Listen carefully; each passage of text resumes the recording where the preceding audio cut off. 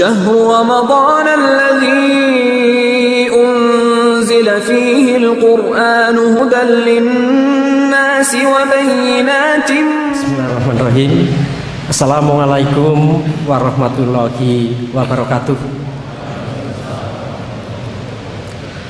Alhamdulillahirabbil alamin wassalatu wassalamu ala asrofil anbiya wal mursalin sayyidina wa mulana Muhammadin wa ala alihi wa ashabihi asma'in amma ba'du. Eh, Saudara-saudaraku kaum muslimin jamaah sholat isya dan insya Allah jamaah sholat taraweh eh, masjid kampus GM rahimahkumullah. Sebagai hamba Allah yang beriman marilah kita panjatkan puji dan syukur kehadirat ilahi Rabbi Allah subhanahu wa ta'ala Allah yang maha pengasih lagi, lagi maha penyayang Allah yang maha pemurah dan pencurah rahmah. Dengan limpahan rahmahnya juga kita dapat berkumpul di masjid UGM yang agung ini untuk menjalankan ibadah salat isya dan insya Allah ibadah salat raweh untuk malam yang pertama di bulan Ramadan 1439 Hijriah. Salawat dan salam semoga tercurah kepada Nabi besar Muhammad Sallallahu Alaihi Wasallam, para sahabat dan kerabat, para aulia yang membimbing dan memberi contoh tauladan dan akhlakul karimah. Bapak, Ibu, saudara, jamaah salat isya dan salat raweh yang dimuliakan Allah Subhanahu wa taala. Alhamdulillah kita telah memasuki bulan Ramadan, bulan yang mulia, musim yang agung. Allah telah mengagungkan pahalanya pada bulan Ramadan dan memperbesar pemberiannya. Pada bulan ini pintu kebaikan terbuka untuk semua orang yang berkeinginan untuk melakukan kebaikan. Bulan yang penuh kebaikan dan keberkatan. Bulan pemberian dan hibah Allah Subhanahu wa taala menurunkan Al-Qur'an pada bulan Ramadan sebagai petunjuk bagi seluruh manusia sebagai penjelasan-penjelasan mengenai petunjuk itu dan sebagai pembeda antara yang hak dan yang batil. Bulan yang dikelilingi dengan rahmah, mahfirah atau ampunan dan pembebas dari api neraka. Awal bulannya adalah rahmah, tengahnya mafirah, dan akhir pembebasan dari siksa neraka. Saudara kaum muslimin rahimahumullah. Karena saya mendapat eh, jatah di awal eh, dari bulan Ramadan, rasanya ada baiknya Eh, ketika kita mengingat kembali perintah tentang puasa pada ayat-ayat seperti yang tadi sudah dibacakan oleh imam kita pada saat sholat isya. Saudaraku kaum muslimin rahimahumullah. Uraian Al-Qur'an tentang puasa Ramadan ditemukan dalam surat Al-Baqarah ayat 183 184, 185 dan 187. Ini berarti bahwa puasa Ramadan baru diwajibkan kepada umat muslim setelah Nabi Muhammad Shallallahu alaihi wasallam tiba di Madinah. Karena ulama Al-Qur'an sepakat bahwa surat Al-Baqarah diturunkan di Madinah.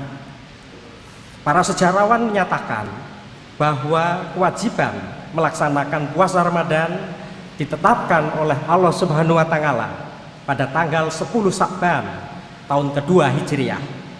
Seperti tertuang dalam ayat 183 eh, surat Al-Baqarah, Ya ayyuhalladi na'amanu kutiba alaikumusiyam kama kutiba alaladi namin qablikum langalakum tatakun. Hai orang-orang yang beriman, diwajibkan atas kamu berpuasa sebagaimana diwajibkan atas orang-orang sebelum kamu agar kamu bertakwa. Kemudian selanjutnya eh, pada ayat yang berikutnya disampaikan bagi orang sakit atau orang yang sedang bepergian boleh tidak berpuasa tetapi wajib mengganti sejumlah hari yang ditinggalkannya itu pada hari yang lain. Sedangkan bagi orang yang tidak mampu menjalankan puasa, maka ia wajib membayar fidyah, yaitu memberi makan uh, orang yang miskin. Pada ayat 185 dijelaskan bahwa kewajiban itu bukannya sepanjang tahun, tetapi hanya beberapa hari tertentu. Itu pun hanya diwajibkan bagi yang berada di kampung halaman tempat tinggalnya dan dalam keadaan sehat. Sehingga barang siapa sakit atau dalam perjalanan maka dia boleh tidak berpuasa. Dan menghitung berapa hari ia tidak berpuasa untuk digantikannya pada hari-hari yang lain. Sedang yang merasa sangat berat berpuasa maka sebagai gantinya dia harus membayar fidyah yaitu memberi makan seorang miskin. Penjelasan ini ditutup dengan pernyataan bahwa berpuasa adalah baik. Setelah itu disusul dengan penjelasan tentang keistimewaan eh, bulan Ramadan seperti yang tadi telah kami sampaikan di awal eh, dari pembicaraan atau khotbah ini. Dan dari sini datang perintahnya untuk berpuasa pada bulan tersebut.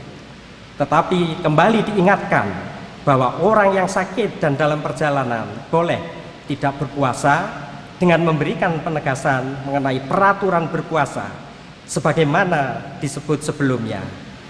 Ayat tentang kewajiban puasa Ramadan ditutup dengan Allah Subhanahu wa taala menghendaki kemudahan untuk kamu, bukan kesulitan. Lalu diakhiri dengan perintah bertakbir dan bersyukur.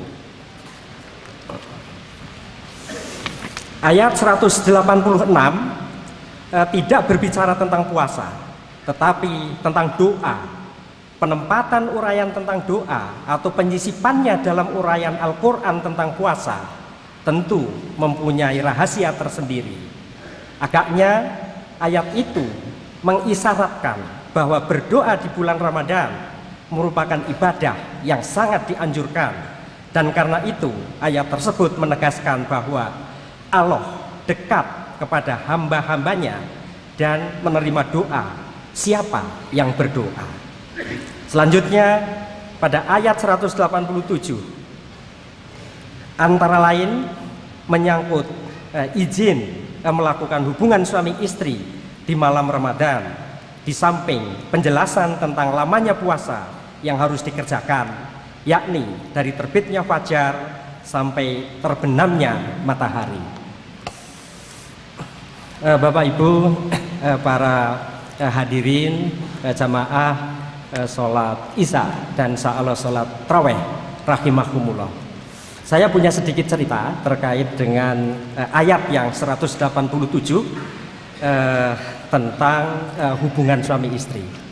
Ketika saya e, bersekolah di Jepang, e, kebetulan saya sangat dekat dengan e, profesor pembimbing saya, e, sehingga saya sering berdiskusi e, tentang e, agama yang saya anut, e, karena e, sering kali e, ada hal-hal yang harus saya kerjakan ketika berkumpul e, dan e, berdiskusi atau rapat dengan teman-teman saya dan memotong uh, waktu sholat, kemudian saat seminar, kemudian pas bulan puasa. Suatu saat pada bulan puasa ada seminar di laboratorium saya karena yang sekolah di Jepang saya kira paham betul di sana ada seminar mingguan terkait dengan pro progres riset dari masing-masing mahasiswa Eh, dan juga pembahasan sebuah literatur eh, satu buku selesai dalam satu tahun yang dibagi eh, chapternya kepada para mahasiswa dari profesor itu. pada suatu saat eh, ketika seminar eh, itu dimulai eh, lalu dihidangkan eh, teh biasa, teh sederhana begitu, eh, teh hijau. Lalu saya sendiri tidak minum. Eh, sensei saya, profesor ya, saat itu eh, bertanya dalam bahasa Jepang, eh, Naze Muryonokung Nomanaides Ka gitu. Eh, terus yang intinya mengapa Anda tidak minum? Eh, terus lagi eh, datang Ramadan Kimastaka, apakah bulan Ramadan telah datang?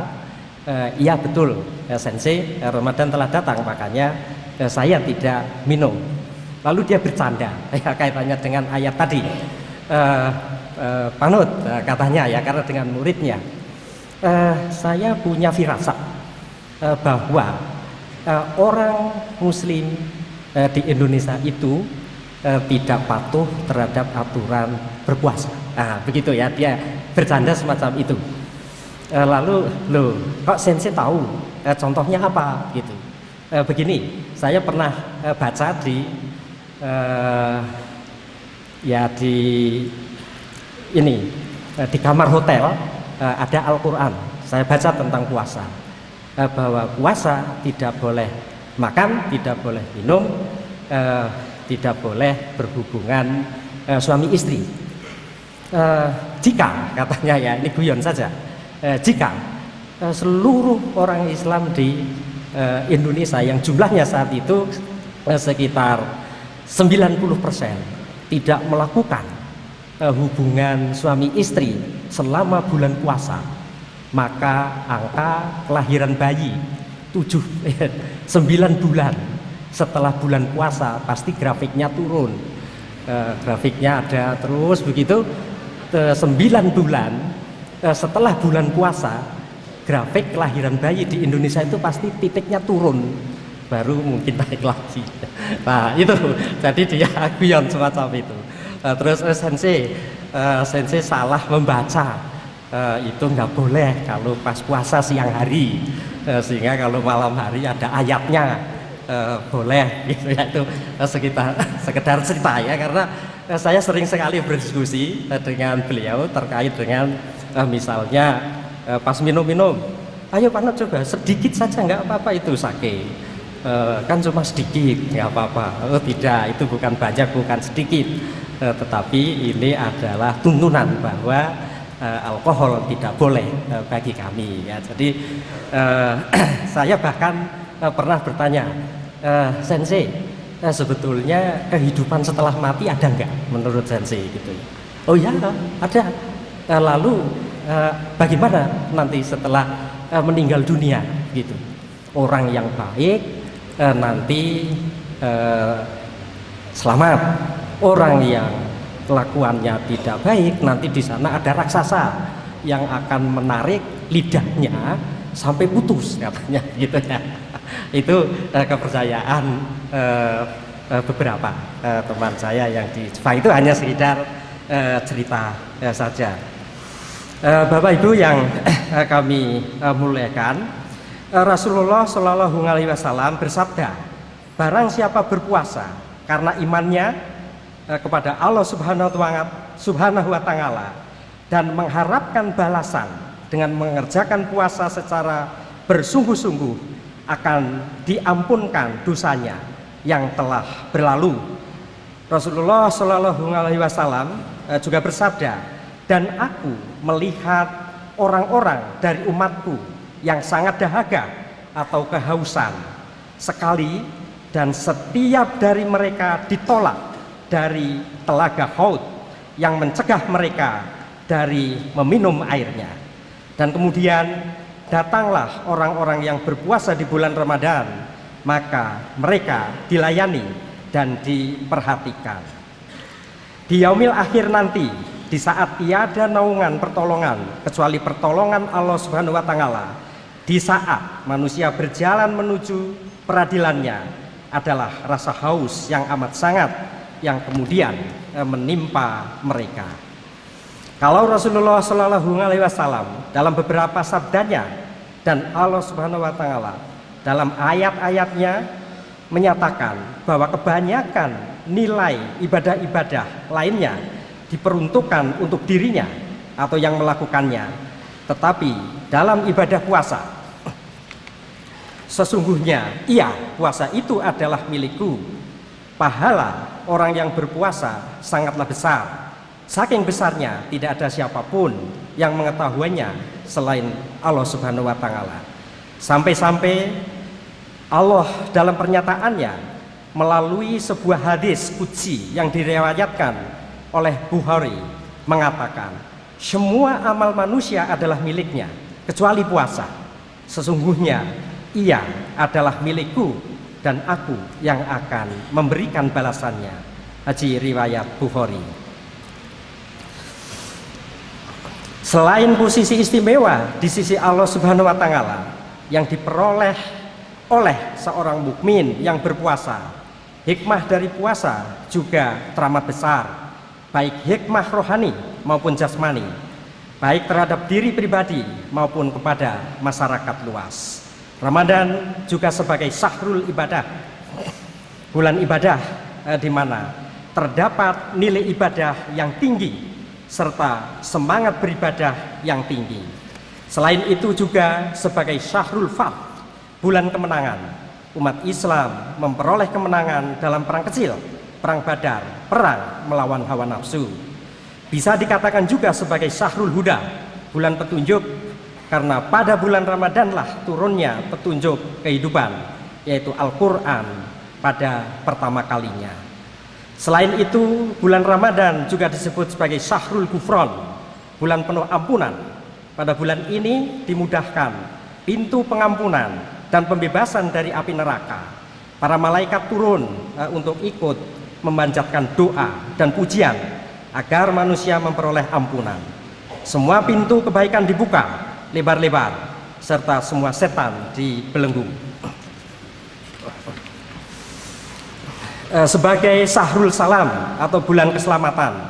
Eh, bulan Ramadan adalah bulan yang mengandung nilai-nilai edukatif yang dapat menciptakan keselamatan, kesejahteraan, dan kedamaian bagi umat manusia. Dan yang terakhir adalah sebagai Sahrul Jihad, bulan perjuangan.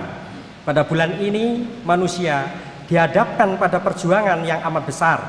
Mereka menahan diri dari perbuatan yang biasa diperbuat Selain menahan diri dari ritualitas makan dan minum sebagai kebutuhan primer sejak fajar sampai terbenamnya matahari. Dan kalau sudah berbuka, dianjurkan untuk menahan diri dari makan dan minum yang berlebihan, bahkan dianjurkan untuk membatasinya. Upaya ini merupakan cara untuk memelihara kesehatan jasmani. Bapak, Ibu, dan Saudara, jamaah sholat isya dan salat terawih yang dimuliakan Allah Subhanahu wa taala. Kembali ke surah Al-Baqarah ayat 183 bahwa Allah Subhanahu wa taala mewajibkan umat muslim untuk berpuasa agar kita bertakwa. Takwa berarti menghindari dan meninggalkan semua dosa yang kecil maupun yang besar dan berbuat seperti orang yang berjalan di tanah yang penuh duri selalu waspada dari apa yang dilihatnya. Kita tidak boleh meremehkan dosa-dosa kecil karena benda yang besar pasti tersusun dari komponen-komponen yang kecil. Takwa adalah kewaspadaan. Sebagaimana ketika Umar bin Khattab radhiyallahu anhu bertanya kepada Ubay bin Ka'ab radhiyallahu anhu tentang takwa. Jawab Ubay bin Ka'ab radhiyallahu anhu, apakah Anda pernah berjalan di tempat yang penuh duri? Jawab Umar radhiyallahu anhu, ya. Ubay, ya. Ubay radhiyallahu anhu bertanya, lalu bagaimana sikap Anda? Umar menjawab, saya sangat waspada dan bersungguh-sungguh menyelamatkan diri dari duri-duri itu. Ubay radhiyallahu anhu berkata, Ya, itulah contoh dari takwa. Dengan berbekal takwa, umat Islam yang berjumlah sekitar 85% dari jumlah penduduk Indonesia harus bisa mewujudkan masa depan Indonesia yang berkeadaban, yaitu Indonesia yang konstitusional, konsisten pada tujuan berdirinya negara, yaitu meningkatkan kesejahteraan rakyatnya. Dengan berbekal takwa, umat muslim yang bekerja sebagai pegawai negara seharusnya merupakan pegawai yang ulet, teliti, jujur, dan sebagai pekerja yang keras. Umat muslim yang bukan sebagai pegawai negara harus mengontrol penyelenggaraan negara agar sesuai dengan konstitusi dan semua aturan yang ada agar tercipta suatu negara yang harmonis dan mensejahterakan rakyatnya. Umat muslim ke depan harus dengan kesadaran yang menyeluruh menjadi bagian aktif dari pemandu atau pengarah peradaban baru Indonesia dengan basis utama takwa, maka umat muslim Indonesia harus mampu memuliakan kehidupan manusia dan memuliakan alam Indonesia untuk menuju Indonesia baru yakni Indonesia yang berkeadaban mulia. Saudara-saudaraku kaum muslimin rahimakumullah. Demikian sedikit materi yang dapat saya sampaikan pada kesempatan sholat raweh yang pertama di bulan suci Ramadan 1439 Hijriah ini. Semoga bermanfaat bagi kita semua. Lebih dan kurangnya mohon dimaafkan. Yang benar datangnya dari Allah Subhanahu wa taala dan yang salah tentu uh, salah hilaf atau keliru datangnya dari saya pribadi sebagai manusia biasa yang tidak pernah luput dari salah, hilaf dan dosa. Akhirul kalam subhanaka Allahumma wa bihamdika asadu alla ilaha illa anta astaghfiruka wa atubu ilaih.